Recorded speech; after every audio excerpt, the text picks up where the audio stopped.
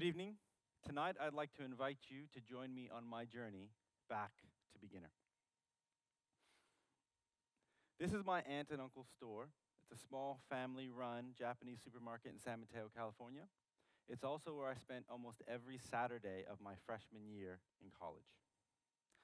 On those Saturdays, I remember waking up at 7 o'clock in the morning, driving across the San Francisco Bay to work, where I would go from 9 a.m. to 6 p.m I'd man the registers, I would bag the groceries, I would stock the shelves, right?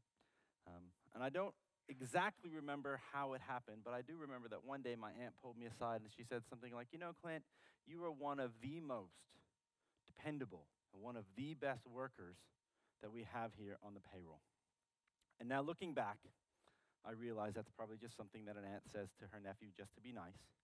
But at that particular moment, it didn't matter. I had become, in my mind, the king of instant ramen.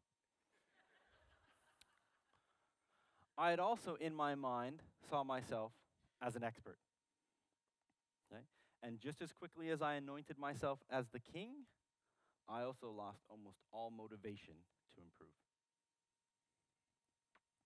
In 1970, the Buddhist monk Shunryu Suzuki published his seminal work called Zen Mind, Beginner's Mind.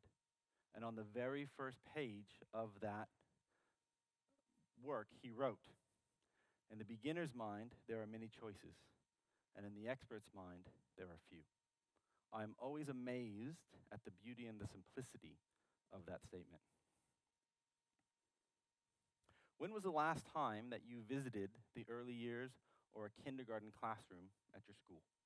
When was the last time that you got to see the boundless joy, the boundless creativity, and freedom of our youngest learners?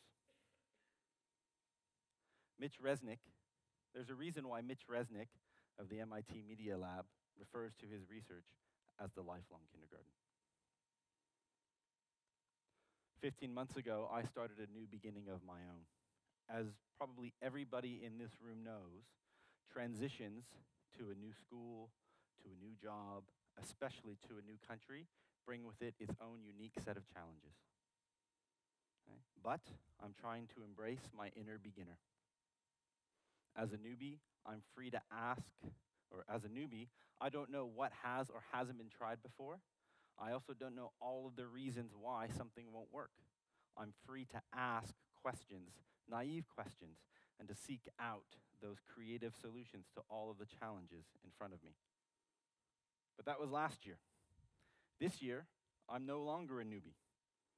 Now that I've graduated to a 2B, what does that mean? Now, as I start to stay longer and longer, and as I start to gain more and more of that institutional memory, what happens?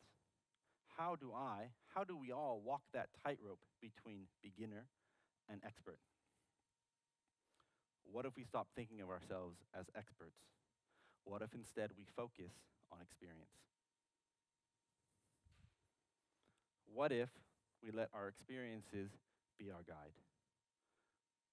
What if those experiences are like fireflies on a summer's night, right? And they're lighting the path in front of, or lighting uh, everything in front of us, all of the possibilities in front of us, but they're not really defining the path that we need to take.